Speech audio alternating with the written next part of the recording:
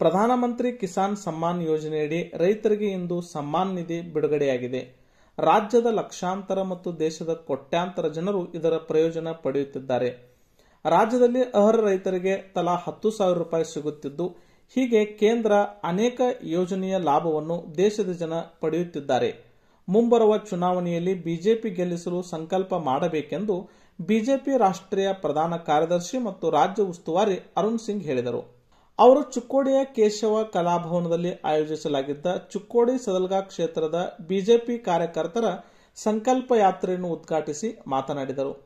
ಕಳೆದ ಎಂಟು ವರ್ಷದಲ್ಲಿ ಅಭಿವೃದ್ಧಿ ಹೊಳೆಹರಿಸಿದ ಬಿಜೆಪಿ ಸರ್ಕಾರದ ಪ್ರಧಾನಿ ನರೇಂದ್ರ ಮೋದಿಜಿ ಮತ್ತು ರಾಜ್ಯದ ಮುಖ್ಯಮಂತ್ರಿ ಬಸವರಾಜ ಬೊಮ್ಮಾಯಿ ಅವರನ್ನು ಅಭಿನಂದಿಸುವುದಾಗಿ ಹೇಳಿದರು. ಕೇಂದ್ರ ಸರ್ಕಾರ ಜಾರಿ ಮಾಡಿರುವ ಅನೇಕ ಯೋಜನೆಯ ಹಣ ನೇರವಾಗಿ ರೈತರ ಖಾತೆಗೆ ವರ್ಗಾಯಿಸಲಾಗುತ್ತಿದೆ. ಬಡವರ ಮನೆಗಳಲ್ಲಿ ಹಲವು ದಶಕಗಳಲ್ಲಿ ಗ್ಯಾಸ್ ಸಂಪರ್ಕ ಇರಲಿಲ್ಲ. ಮೋದಿಜಿ ಗ್ಯಾಸ್ ಸಂಪರ್ಕ ಕೊಡುವ ಕಾರ್ಯ ಮಾಡಿದ್ದು ಮಹಿಳೆಯರಿಗೆ ಸಂತಸವಾಗಿದೆ ಎಂದರು. ಆಯುಷ್ಮಾನ್ ಕಾರ್ಡ್ ಮಾಡಿಸಿಕೊಂಡ ಫಲಾನುಭವಿಗಳು ಪ್ರಧಾನಿಗೆ ಧನ್ಯವಾದ ಹೇಳುತ್ತಿದ್ದಾರೆ. ಕೋವಿಡ್ ಅವಧಿಯಲ್ಲಿ ಕೋಟಿಗಟ್ಟಲೆ ಜನರಿಗೆ ಉಚಿತ ಪಡಿತರ ನೀಡಿ ಜೀವ ಉಳಿಸುವ ಕಾರ್ಯ ಮಾಡಿದ ಬಿಜೆಪಿಯ ಕೇಂದ್ರ, ರಾಜ್ಯ ಸರ್ಕಾರಕ್ಕೆ ಜನರು ಕೃತಜ್ಞತೆ ಹೇಳುತ್ತಿದ್ದಾರೆ. ಚುಕ್ಕೋಡಿ ಮತ್ತು ಈ ಭಾಗದಲ್ಲಿ ಜನರು ಬಿಜೆಪಿ ಶಾಸಕರನ್ನೇ ಚುನಾಯಿಸುವ ದಿನ ಬಂದಿದೆ ಎಂದು ವಿಶ್ವಾಸ ವ್ಯಕ್ತಪಡಿಸಿದರು. ಕಾಂಗ್ರೆಸ್ ಪಕ್ಷವು ಜನರಿಗೆ ಕೇವಲ ವಿಶ್ವಾಸಘಾತುಕತನ ಕೆಲಸ ಮಾಡಿದೆ. ಆದ್ದರಿಂದ ಅವರಿಗೆ ಭಾರತ ಜೋಡೋ ಯಾತ್ರೆ ಸಂದರ್ಭದಲ್ಲಿ ಫಲಾನುಭವಿಗಳ ಜೊತೆ ಮಾತನಾಡುವ ಧೈರ್ಯ ಇರಲಿಲ್ಲ. ಗ್ಯಾಸ್ ಸಂಪರ್ಕ, ಆಯುಷ್ಮಾನ್ ಯೋಜನೆ, ಕಿಸಾನ್ ಸಮ್ಮಾನ್ ಯೋಜನೆಯಂತಹ ಜನೋಪಯೋಗಿ ಕಾರ್ಯಗಳನ್ನು ಕಾಂಗ್ರೆಸ್ ಅಧಿಕಾರದ ಅವಧಿಯಲ್ಲಿ ಯಾಕೆ ಅನುಷ್ಠಾನ ಮಾಡಿಲ್ಲ ಎಂದು ಪ್ರಶ್ನಿಸುವ ಕಾಲ ಬಂದಿದೆ ಎಂದರು. माजी उप मुख्यमंत्री लोकप्रिय नेता लक्ष्मण सऊदी और महंतेश कौटकी मत माजी उप सचेतक और सिद्धराजू और राजू और कुमारी उज्ज्वला और दुर्योधन और बसवराज और बाला साहब और संजय पाटिल और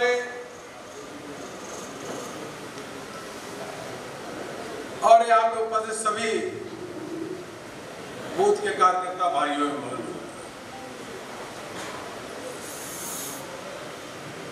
आप सभी को प्रणाम करता हूँ और आप सभी का वंदन भी करता हूँ।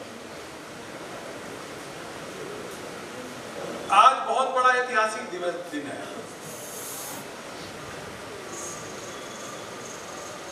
आज कुछ ही समय पहले किसान के अकाउंट में, जिनके अकाउंट थे, उन ऐसे किसानों के अकाउंट में, और देखा जाए तो कर्नाटक के बावन लाख किसान के अकाउंट में बेलगावी ज़िले के पाँच लाख से अधिक अकाउंट जो किसान हैं, पाँच लाख से अधिक किसानों के अकाउंट में अभी अभी दस हज़ार रुपये आया है।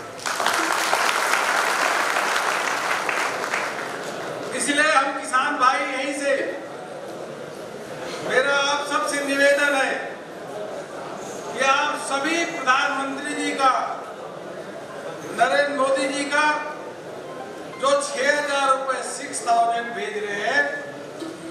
और मुंबई सरकार, मुंबई जी चार हज़ार फोर थाउज़ेंड भेज रहे हैं। ताजियों के द्वारा मोदी जी को भारतीय जनता पार्टी का और तगड़ा अभिनंदन होना चाहिए और कांग्रेस का तो भारत जोड़ो यात्रा चल रहा है, उनसे पूछना चाहिए, कोई मिल जाए। कोई नहीं तो यहाँ के लोकल विधायक से पूछ लो कि आपकी जब सरकार थी तो आपने किसान के किसान के अकाउंट में कुछ पैसा दिया क्या? अरे उस समय तो किसान के बैंक अकाउंट ही नहीं थे। छियालीस करोड़ बैंक अकाउंट अब खुले। तो कांग्रेस के समय में तो किसानों के बैंक अकाउंट में सीधे पैसा आया ही नहीं। ये पूछना चाहिए कि आपने एक दो साल नहीं, छह दशक, साठ साल से ऊपर राज किया कांग्रेस पार्टी ने। लेकिन उनकी चिंता कभी भी नहीं मित्रों, अभी हम थोड़ी देर पहले लाभार्थियों से बात कर रहे थे, लक्ष्मण सऊदी साहब वहाँ पे थे।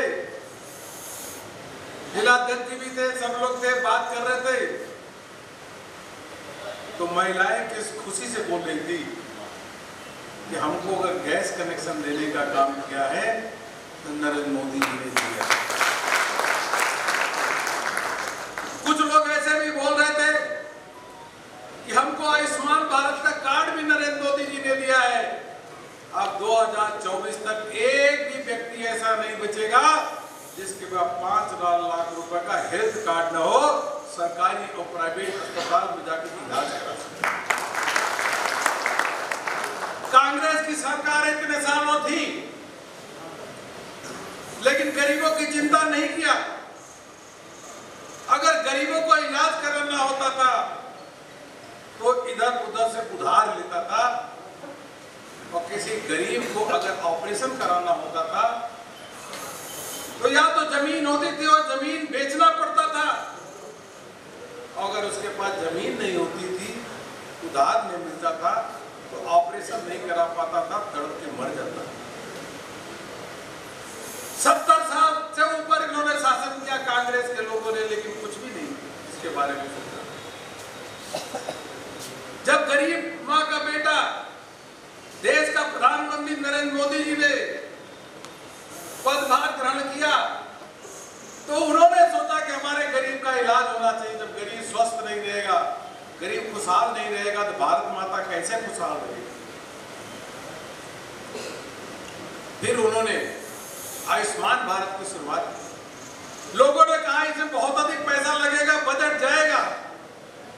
मोदी जी ने कहा, नहीं, कितना भी बजट लगे हमारे लोगों को, गरीबों को, किसानों को खुशहाल रखना है। आयुष्मान भारत की शुरुआत किया। आज 32 करोड़ से अधिक आयुष्मान भारत के कार्ड बढ़ चुके हैं और तीन करोड़ से लोग अधिक मुफ़्त में इलाज करा चुके हैं। 2024 तक सभी का आयुष्मान भारत का कार्ड बन जाएगा यह मोदी जी का संकल्प है कांग्रेस के मित्रों से पूछो क्यों नहीं किया भाई इसी बेलगांव ज़िले में, बेलगांव पूरा अनडिवाइडेड बेलगांव ज़िले में दो lakh two lakh seventy two thousand लोगों का आयुष्मान भारत का कार्ड बन चुका है। यह बन चुका है। 18 जन औषधि केंद्र बनी है, जहाँ सस्ती दवाइयाँ मिलती है। देश के आज़ादी के बाद नल से जल की व्यवस्था नहीं थी। गरीब अगर शुद्ध पीने का पानी न मिले उसको आधी बीमारी तो गंदा पानी या शुद्ध पानी नहीं पीने से ही हो जाती है।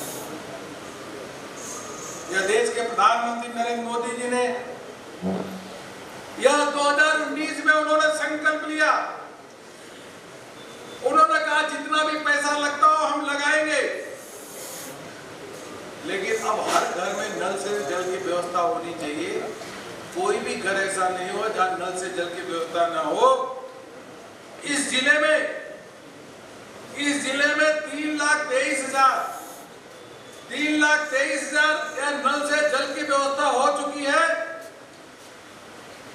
आने आठ करोड़ पूरे देश में नल से जल घरों में व्यवस्था हो चुकी है। आने वाले समय में एक भी घर नहीं बचेगा जहाँ पे शुद्ध पीने का पानी न हो, यह मोदी जी का संकल्प अरे, कांग्रेस से पूछो तो आपने क्यों नहीं किया भाई? आपने उज्ज्वला नहीं किया, आपने बैंक अकाउंट नहीं खोला, आपने पीने के पानी की व्यवस्था नहीं दी, आपने हेल्थ कार्ड नहीं दिया। आपने किया क्या? अब जब कोरोना आया, जब कोरोना आया तो कोरोना के समय गरीबों की चिंता देखते हुए प्रधानमंत्री जी ने कहा कि हमको अनाज देना है, नहीं तो कहाँ से जाएँगे लोग खरीदेंगे, कहाँ से अनाज खरीदेंगे? आज महिलाएँ बता रही थी, किसी को 20 किलो के 25 किलो। लोगों ने कहा कि मोदी जी, इसमें तो बहुत पैसा लगेगा। 80 करोड़ लोगों को अनाज दोगे तो बहुत पैसा लगेगा। लेकिन उनका पैसे की चिंता मत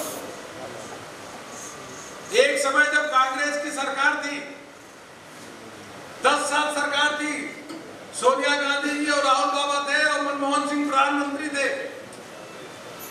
मनमोहन सिंह जी मंच से बोलते थे कि देश के संसाधनों पे, देश के रिसोर्सेस पे, देश के तिजोरी पे पहला अधिकार अल्पसंख्यक वर्ग का है ऐसा देश का प्रधानमंत्री कहता था कि देश के संसाधनों पे पहला अधिकार first right of the on the resources अल्पसंख्यकों का है जब देश के प्रधानमंत्री नरेंद्र मोदी जी को लोगों ने समझाया कि बहुत पैसा इसमें जाएगा 80 करोड़ अनाज देने में तो ऐसे गरीब माँ के बेटे देश के प्रधानमंत्री मोदी जी कहते हैं कि देखो कांग्रेस कहती थी कि हमारे रिसोर्सेज में पहला अधिकार अल्पसंख्यक का है मैं कहता हूं कि देश के तिजोरी पे अगर पहला कोई अधिकार है तो देश के गरीबों का है देश के किसानों का है जितना पैसा खर्च होता है यह सोच बदली ವಿಧಾನ ಪರಿಷತ್ ಸದಸ್ಯ ಲಕ್ಷ್ಮಣ್ ಸವದಿ ಮಾತನಾಡಿ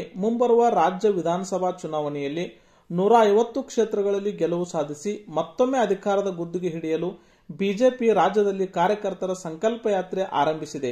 ಶೀಘ್ರದಲ್ಲಿ ಚಿಕ್ಕೋಡಿ ಸದಲ್ಗಾ ಕ್ಷೇತ್ರದ ಅಭ್ಯರ್ಥಿಯನ್ನು ಘೋಷಿಸಲಾಗುತ್ತದೆ ಎಂದರು. ವಿಧಾನ ಪರಿಷತ್ ಮಾಜಿ ಸದಸ್ಯ ಮಾಂತೇಶ್ ಕೌಟಿಗೆಮಠ್, ವಿಧಾನ ಪರಿಷತ್ ಸದಸ್ಯ ಸಿದ್ದರಾಜು ಮಾಜಿ ಸಚಿವ ಶ್ರೀಮಂತ್ ಪಾಟೀಲ್, ಶಾಸಕ ದುರ್ಯೋಧನ ಐಹೊಳೆ ಬಸವರಾಜ್ ಅಕ್ಕಂಚಿ, ಯುವ ಮೋರ್ಚಾ ಜಿಲ್ಲಾಧ್ಯಕ್ಷ ದೀಪಕ್ ಪಾಟೀಲ್ ಉಜ್ವಲ ಬಡವಣೆ ಜಿಲ್ಲಾ ಪಂಚಾಯಿತಿ ಮಾಜಿ ಸದಸ್ಯ ಪವನ್ ಕತ್ತಿ ಸತೀಶ್ ಅಪ್ಪಾಜಿಗಳು ಸೇರಿದಂತೆ ಮುಂತಾದವರು ಉಪಸ್ಥಿತರಿದ್ದರು.